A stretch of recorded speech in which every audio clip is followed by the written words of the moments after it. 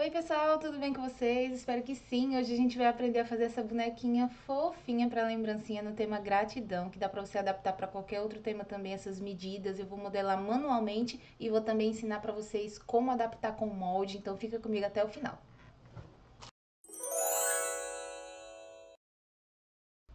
Vamos lá então, para a parte manual a gente vai separar aí as massas nas cores que a gente quiser fazer a roupinha, tá? E uma bolinha de 25 milímetros. Para a parte dos sapatinhos, que são bem simples, você vai usar 1.8, tá? Para cada sapatinho. Para a calça, vocês vão usar aí 12 gramas. Para a parte da blusinha, vocês vão usar 6 gramas e 5, né? 6.5. E para a parte do rostinho, 10 gramas também. Lembrando que a bolinha é de 25 milímetros, tá? Eu vou, manual, eu vou modelar manualmente aqui para vocês essa parte com bastante calma. E aí depois a gente vai para a demonstração do molde em si, também fazendo a mesma peça para vocês adaptarem. Aqui não tem segredo, para o sapatinho eu fiz somente uma bolinha, deixei um pouquinho oval e achatei na mesa. Aqui na base do pé, você vai ter que simplesmente, ó, puxar um pouquinho para deixar bem retinha essa base e depois esse bonequinho poder ficar em pé certinho, tá? Então eu sempre faço isso em todos os sapatinhos, lembrando de deixar o calcanhar mais estreitinho e a parte da frente do sapatinho um pouco mais larguinha. Faço isso nos dois, deixo os dois mais ou menos do mesmo tamanho, e aí a gente já tem os sapatinhos, que é a base da nossa bonequinha. O melhor é que isso aqui já esteja seco na hora que você for colocar uh, o detalhe da calça, né? Ou pelo menos mais firme, a sua massa tem que estar tá mais firme, por isso eu uso Inkway, que me ajuda muito. Essa cor aqui que eu tô usando da Inkway é um azul royal. Eu vou sovar essa massa, fazer um rolinho, tá bom? E aqui, ó, começando a partir de 4 centímetros, a gente vai modelar, então, a parte da calça. 4 a 5 centímetros, tá? E aí, com os dois dedos aqui, ó, eu vou girando e fazendo essa parte da calça, né, a perna da calça alongar, tá vendo? Então, quando você alongar, ele vai ficar mais ou menos aí com uns 8 centímetros, 9 no total. E aí, com cuidado, você vai dobrar nessa posição, tá? Você vai ver que já vai dar uma saliência aqui, que vai ser a parte do bumbum. E aí, com o dedo aqui e o polegar puxando pra cima, você vai alisar a frente. Porque a frente da calça tem que estar tá mais retinha, tá? E as laterais também. E deixa o voluminho do bumbum aqui atrás, tá bom? Você pode ajustar com o próprio dedo aqui também, ó. Pra fazer essa curvinha do bumbum. E essa calça é unissex, dá para usar tanto para bonequinho de menina como de menino. Guardem essas medidas, porque sempre que vocês precisarem fazer lembrancinhas, esse é um padrão bacana para vocês terem, né, e, e, usarem aí. Vou colocar o dedo aqui, ó, no meio, né, da barra da calça aí, e vou puxar um pouquinho, vou afundar lá o centro e vou puxar um pouquinho, justamente para quando eu colar no sapatinho, ficar tudo bem alinhadinho, bem coladinho, tá? Então, lembra que se o sapatinho já estiver mais seco, é ótimo, mas ele ainda tem que estar tá úmido um pouquinho só para você passar o palito depois. Então, só firminho mesmo já vai ajudar. Ó, coloquei e aqui tem um truquezinho, quando você colocar na mesa, dá uma puxadinha pra frente, tá? Pra ele poder ficar realmente na posição certinha, retinha e ele não tombar. A partir desse momento aqui, você vai fazer a calça, os detalhes que você quiser. Eu vou fazer basicamente é, alguns detalhezinhos de costura com uma esteca aqui da Blue Star, que é muito legal, que é a esteca faquinha, ela tem dois lados, né? O liso e o do dentinho. Então, com o dentinho eu venho aqui, ó, e marco as laterais. Marco aqui também a partezinha da frente, como se fosse do zíper, né? E aí eu vou fazer algumas marcações aqui, ó, também que são as dobrinhas da calça, né? Justamente na, na partezinha aqui, abaixo do bumbum, fica bem lindinho e aqui também. Isso já dá a característica de calça jeans, já fica super fofinho. E aí, com o palitinho, eu vou desfiar a barra da calça. Deixar ela bem estilo jovenzinha, tá? E aí, eu posso fazer esse mesmo rasgadinho também em alguns pedacinhos da calça para depois quando a gente for sombrear, ficar tudo bem lindo, bem destacado, tá? Ó, também básico de fazer. Vocês vão me desculpar que eu tô falando menos nesses passo a passos agora, gente, porque a gente tem passado uma crise aqui de gripe muito forte. Já faz mais de 15 dias que a gente tá meio doente, ainda tô recuperando a voz. Ó, ficou mais ou menos aí numa altura de 5 centímetros, 5 a 6, tá? Mas isso vai depender do tamanho do boneco que você quer fazer, né? Então você pode usar mais massa, fazer uma calça maior, fazer um boneco maior, enfim. É o mesmo padrão até para topo de bolo, se você quiser usar, só que você aumenta aí as quantidades de massa de acordo com o teu olho. É, vou colocar o palitinho aqui, ó, girando, tá bom? Girando, para depois ficar fácil de eu tirar também. O palito, ele vai colar lá dentro, mas se você tiver depois é, mexendo vez por outra, girando ele, quando for para tirar, ele sai com mais facilidade. Vou pegar então aqui um isopor, com outro palito eu vou marcar onde eu quero encaixar porque se eu for empurrar aqui de uma vez, ele vai amassar, né, gente? Então, eu furo primeiro e aí eu encaixo com facilidade. Ele já fica em pezinho aí, secando no, no, no jeito certinho, tá? O legal é você ter essas placas de isopor, né? Qualquer isopor aí que você consiga colocar todos os corpinhos para secar assim em pezinho, que rapidamente eles vão secar, né? E já vão ficar estruturados em pé é, na hora que você for montar. Aqui para a parte da blusinha, eu vou fazer um rolinho, né? Aliás, uma bolinha, uma coxinha, dar uma chatadinha e fazer o cone. Também é uma coisa simples, coloco o dedo aqui no centro e vou puxando com o polegar, ó, e girando, tá? Pra poder deixar bem encaixadinho ali na calça, ó. Tem que ficar mais ou menos assim. Essa blusinha é o mais simples possível, gente, de fazer, tá? Você pode depois fazer uma manguinha também no bracinho, mas nela aqui eu não vou colocar. Eu simplesmente encaixei, ó. E ele já fica perfeito aqui no corpinho. Muito fofo, né? Um pincel modelador, ou uma estequinha, um boleador, você fura aqui a parte do pescoço, onde vai encaixar. E aqui eu gosto de fazer também um furinho girando, ó, pra encaixar o bracinho, tá bom? Pra mim é mais prático nesse sentido fazer a lembrancinha dessa forma. Se você for fazer uma lembrancinha que a blusinha é com manga, você vai colocar um pedacinho de massa da mesma cor da blusa na parte do bracinho, né? E aí você une. É, mas aqui eu já vou colocar o bracinho direto por dentro da regata. E aí fica assim, tá? É só encaixar depois. Pronto, feito isso, a gente vai pra cabecinha. Então, a cabecinha, eu vou pegar a bolinha. Eu já preparei a minha bolinha com cola de silicone. Eu uso cola de silicone porque além dela secar mais rápido, ela cria uma película que não vai deixar a massa escorregar, não vai deixar entrar ar. É maravilhoso, tá, gente? Passa em cola de silicone que funciona super bem, funciona melhor do que a cola branca, na minha opinião, tá? Então, eu vou pegar aqui, ó, fiz bolinha. E a cabecinha é o mesmo jeitinho que vocês já me viram fazer no canal várias vezes.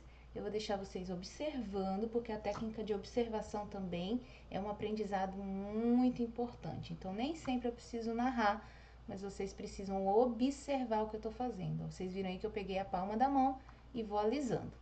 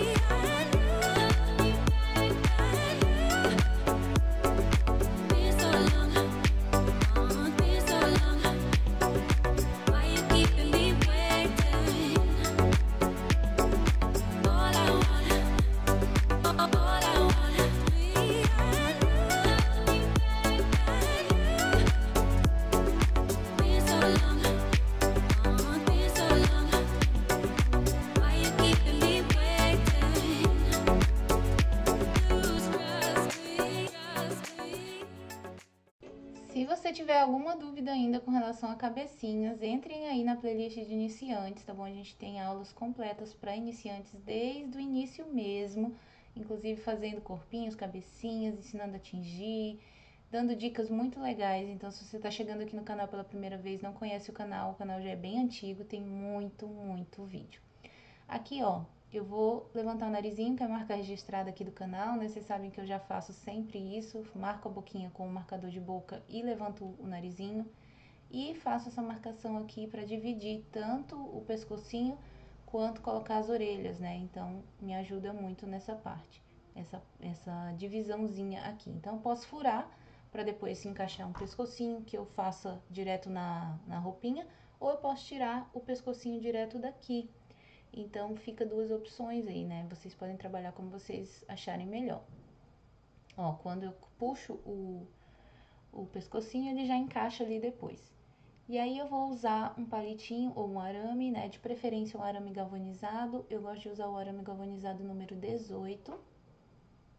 Pra poder fazer aqui, então, a, a união da cabeça com o corpo. Por que que eu uso arame, gente? Justamente pra dá mais segurança se essa peça cair e ela não vai quebrar, não vai partir aqui no pescoço, né? Como se fosse com um palitinho. Se for com um palitinho, ele quebra e você não consegue mais é, ajeitar, né? Já com o arame ele segura ali e não faz quebrar. Essa etapa aqui seria então a parte que eu colocaria um olhinho adesivo, mas nesse caso, como a gente está fazendo totalmente manual, eu não vou colocar o olhinho, tá? Você pode colocar uma meia pérola, é, de 3 milímetros ou de, de 4 milímetros, né? Uma miçanguinha. Ou você pode também esperar secar e depois pintar esse olhinho com tinta acrílica, tá bom? Então, vou ver se eu coloco no final aqui a parte da pinturinha do olhinho também. Só que só pode pintar depois que tiver totalmente seco, tá bom? Eu vou colocar aqui as orelhinhas, ó, bem onde termina a divisão que eu fiz aqui. Só uma bolinha, gente, e com o pincel modelador eu furo aqui, ó. Olha como ficou lindinho, gente. Ele fica fofo, ó, de um ladinho do outro, assim, bem lindinho mesmo o rostinho. E eu vou deixar secando separado, tá bom? 24 horas aí ou mais, tá bom? Você vai perceber aí sua peça para depois montar. Vou usar o molde agora então para fazer a demonstração. Não deixe de assistir essa parte do molde porque tem os macetes e as dicas muito legais também. Esse molde é da minha coleção, modelado por mim, vendido pela simonemoldes.com.br, tá bom?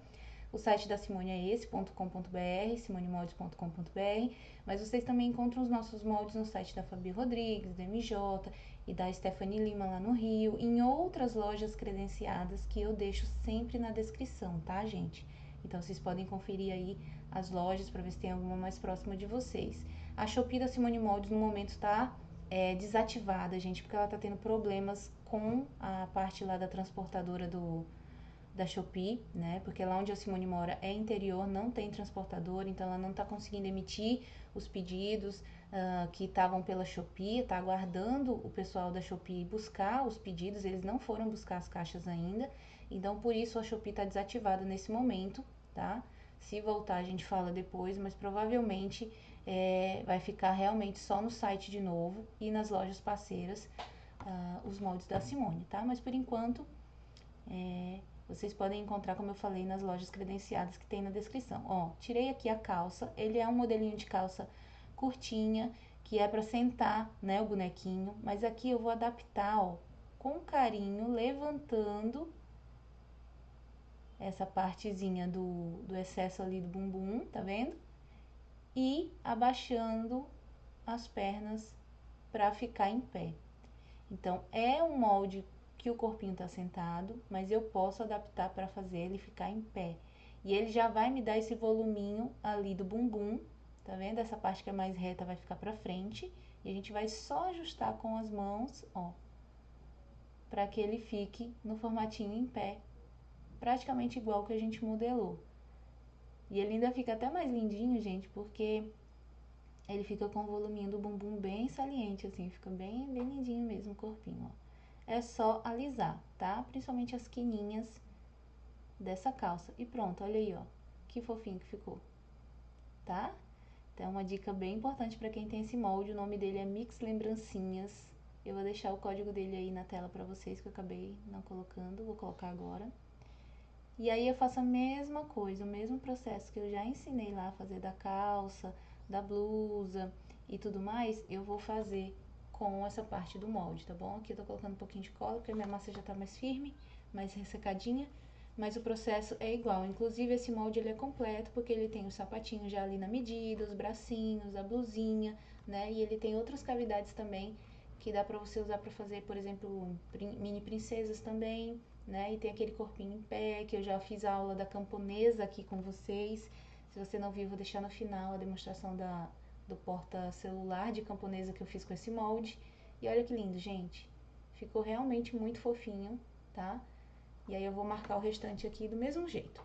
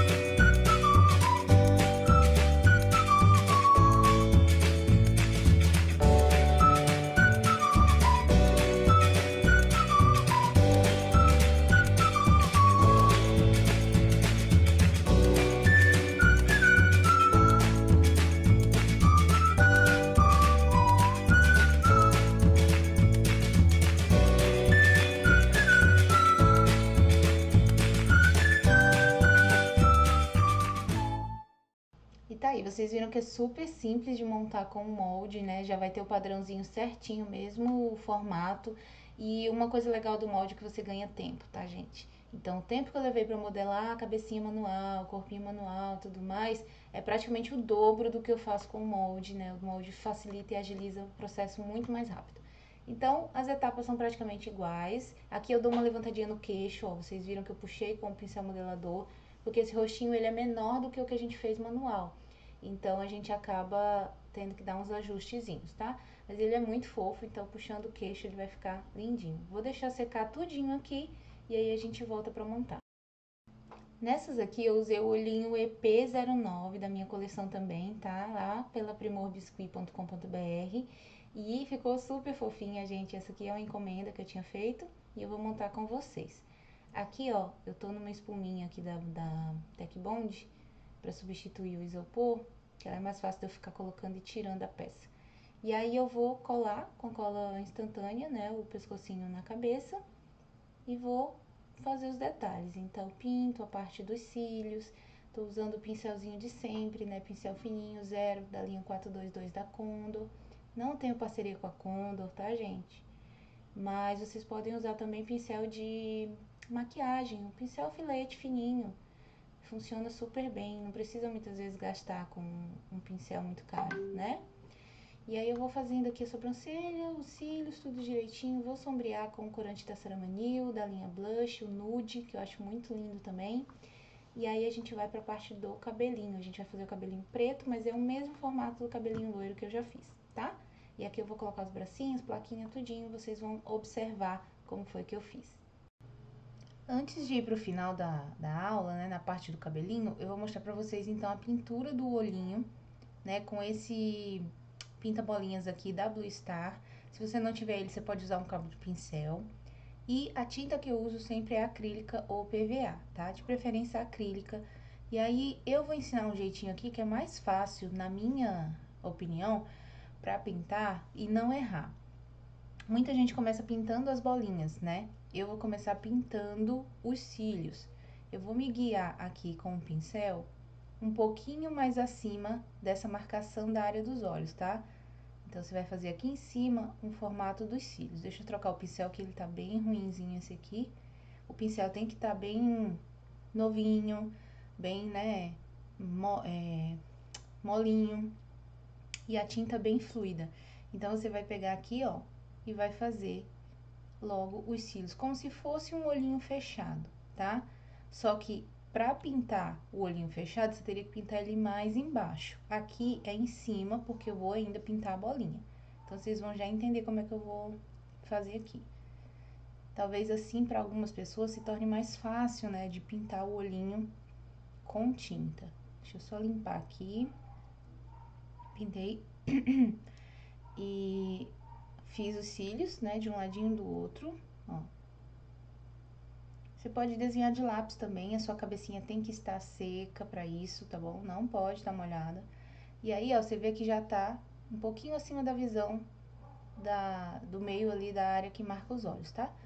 Agora sim, eu vou pegar então o pinta-bolinhas e vou usar a tinta preta ou a tinta da cor do olhinho que você quer fazer, tá? E bem aqui no comecinho, ó, dessa marcação, eu faço a bolinha. Você vai colocar a bolinha de acordo com o olhar que você quiser fazer, né? Se é pro lado, se é pro meio, se é pra frente. Aqui tá pra frente, tá vendo? Você vai fazer assim. Você vai deixar secar de preferência essa partezinha pra depois pintar o resto, pra não borrar. Mas se você já tiver prática ou então quiser já fazer, tentar fazer direto, também dá.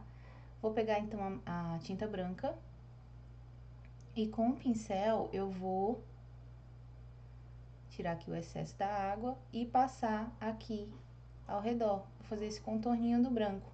Ao invés de eu pintar com pinta-bolinhas de branco primeiro, esperar secar e depois pintar o preto, esperar secar, eu já fiz isso, né? E já me deu um norte para mim não errar a posição dos olhinhos. Então, se essa dica já valeu aí o vídeo, coloca aí abaixo nos comentários se você gostou. Curte esse vídeo, tá bom? Não esquece de se inscrever no canal para você ter aí acesso às outras aulas e ser notificado sempre que sair vídeo novo, tem que assinar aí o, o sininho de notificação, tá bom? Ó, eu vou reforçar um pouquinho do branco. E aí, antes do branco aqui, você pode também fazer um filetinho de cor, né? Por exemplo, se você quiser fazer um olhinho azul, faz um filetinho de azul, depois faz um filetinho de branco. E aí vai fazendo a cor do, do olhinho do jeito que você quiser. Ficou bem fofo, né? E aí, depois disso, eu vou reforçar novamente a parte dos cílios, porque a gente, às vezes, pode pegar ali o branco, né, e cobrir um pouquinho do detalhe dos cílios, então eu venho reforçando, ó, aqui. Tá? Não tem segredo, é ter calma, realmente, a peça tem que estar tá seca. E o pincel bem fininho. Se você não tem prática com pincel, treina, porque fica muito mais bonito um olhinho assim, né, com cílios de, de tinta do que com de caneta. Caneta ele já dá aquele aspecto mais simples, né? Aqui já fica aquele aspecto mais sofisticado de pintura mesmo. Então, espero que vocês tenham gostado dessa dica aqui do olhinho, tá bom? Quis mostrar logo na aula pra vocês. Deixa eu tirar aqui pra deixar a sobrancelha do mesmo, da mesma altura. Quis mostrar essa parte do olhinho também, pra completar, então, essa parte manual da nossa aulinha, tá bom? Gente, curte e comenta realmente esse vídeo, compartilhe esse vídeo para que o YouTube entenda que vocês gostam do conteúdo e recomende para outras pessoas, assim o canal ele continua crescendo, continua motivado a estar tá trazendo algumas aulas aqui, né? E se você não faz parte da área de membros, quiser fazer parte da nossa área de membros, esse mês, né, a gente vai começar o tema da Pequena Sereia. Então, nós vamos fazer a primeira aula, vai ser o linguado, e nós vamos fazer todos os personagens do mês a mês na área de membros. Aqui, ó, eu peguei um pouquinho do marrom só pra dar tipo um contorninho. Aqui no vídeo vocês nem vão ver, mas é algo bem sutil mesmo, tá, gente? Só pra dar um contorno. Passa o blush, né, faz a maquiagemzinha normal depois que secar. Não faz isso enquanto tá molhado o olho, senão você vai borrar tudo, igual eu já fiz. Mas passa aí. Eu ainda tô, gente, me recuperando da garganta. E aí, pronto, ó, tá vendo? Eu borrei ali porque tava molhado. Mas vocês entenderam. Façam a, a pintura, deixa secar bem direitinho. E vai ficar lindo, lindo, lindo. Pra quem não tem um olhinho adesivo, é uma opção simples, mas que fica delicadinha, fica bonitinha, tá? Não esqueçam do pinguinho do olho também, pra, pra poder, né, dar aquele brilhozinho, o charmezinho final. E é isso. Agora vamos continuar com o molde. Eu vou então para a partezinha dos bracinhos, né, colocar a plaquinha. Aqui também não tem segredo na parte da montagem. Os bracinhos, as gramas eu tô colocando aí, é 2.2 cada bracinho, né? E aqui no canal já tem um monte de aulinha de corpinhos que dá pra vocês aprenderem a fazer bracinho. Então não tem segredo não, tá? Aqui eu vou tirar só e dar uma remarcadinha. Vou agilizar esse processo também porque é como um molde. E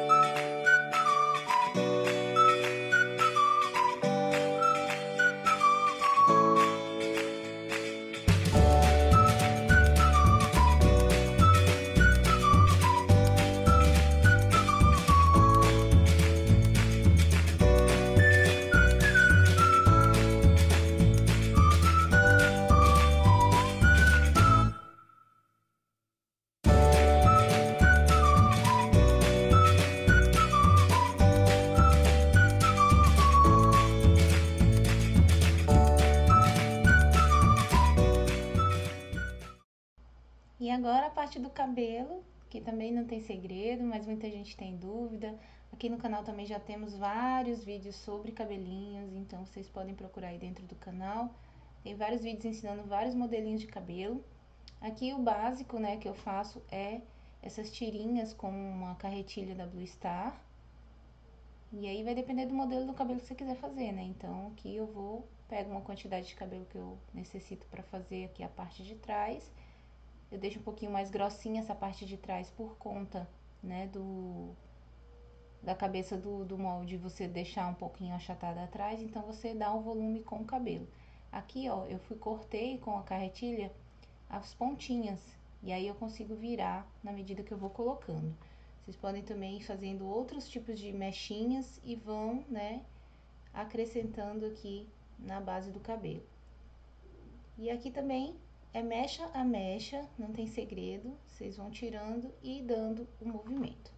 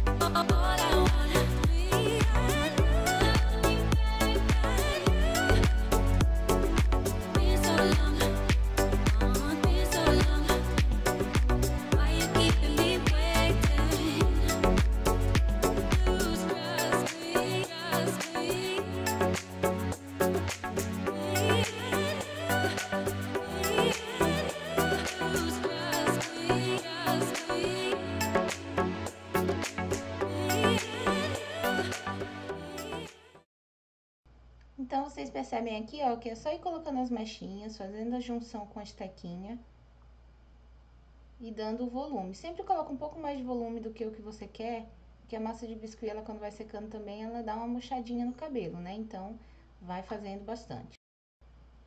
E aí, pra finalizar, eu vou tirar os palitinhos, eu gosto de dar essa giradinha, que às vezes ele sai inteirinho assim, ó. E aí facilita, tá? Se quebrar e ficar algum pedacinho lá dentro, tem nada não. Você tira com estilete ou com a ponta do, do alicate. O importante é não deixar o palitinho aqui, porque quando o biscuit vai secando, ele vai encolhendo ainda um pouco. E aí pode aparecer esse palito, né? Se você colocar, por exemplo, numa base acrílica, ele vai repuxar e depois vai aparecer. Então tem que tirar todinho. Aqui, como eu tô usando uma base de biscuit mesmo, não tem problema se ficar um tiquinho ali, né, eu vou só tampar com a, com a massinha branca. Já tá tudo seco, tanto a base quanto o pezinho. Então, o que que eu faço? Pego um pouquinho de massa úmida, coloco entre as partes aqui do pezinho. Cuidado com o dedo. Eu sempre colo meu dedo aqui, gente. É, vamos lá de novo. Coloca aqui. Obriga. Grudou mesmo nesse dia. Pronto. Aí você coloca o, a cola instantânea e pressiona segurando alguns segundinhos, porque a cola só vai fixar se você afundar aqui e esperar uns segundos, tá? A cola instantânea funciona com a ausência do ar, então para fixar tem que segurar. Depois de segurar uns segundinhos, pronto, ela ficou pronta, ficou coladinha. E é só você embalar, colocar na caixinha, né, e presentear quem você gosta, ou, né, fazer aí essas amostrinhas, quem sabe não sair uma venda para vocês. Sempre tem alguém que quer dar um mimo para alguém, né? Então, se você fizer essas amostrinhas, postar lá no seu Instagram, bem provável aparecer alguém perguntando valor e aparecer encomenda para vocês, tá bom? Então é isso. Espero que vocês tenham gostado dessa aula, que tenha sido útil para vocês as dicas. E se fizer, me marca lá pelo Instagram, tá bom? Arte Paixão Biscuit. E é isso, gente. Todos os materiais, todos os moldes que eu usei, tudo tá aí na descrição do vídeo, tá bom? Inclusive o link da loja também da Primor, que é dos olhinhos e tudo mais. Um beijo, fiquem com Deus e até o próximo vídeo. Tchau, tchau. Ai, não. Calma, que ainda tem aqui um detalhezinho que eu tinha esquecido, gente. Olha aí, quem fica até o final não perde a benção. Escreve aí nos comentários se você chegou até aqui. Quem fica até o final não perde a benção. Ó, aqui eu peguei a tinta acrílica para dar o efeito do jeans, tá? Nessas marcações que a gente escreveu. Ó. E aí eu pego um pincelzinho seco, passo a tinta, tiro o excesso e aí vou só dando uma sujadinha aqui de branco pra destacar. Olha a diferença do que tem, né, a pintura e o que não tem, né? Então faz nos dois que vai ficar bem legal. Tenho certeza que o pessoal vai amar por aí. E o legal de jeans é que é mesmo aleatório, né? Não precisa ser certinho. Vai ficar tudo perfeito. Tá bom? Agora sim, gente. Espero que vocês tenham gostado desse vídeo. Um super beijo. Fiquem com Deus e até o próximo. Tchau, tchau.